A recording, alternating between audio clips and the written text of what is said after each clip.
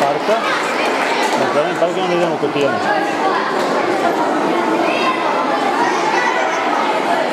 A?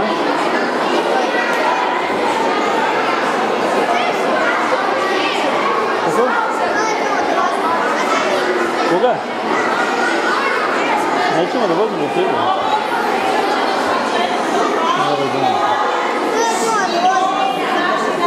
Ne možemo s. Ne, to pijamo.